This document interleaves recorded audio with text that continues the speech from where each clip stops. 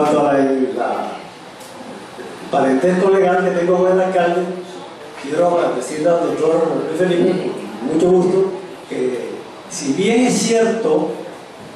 no existe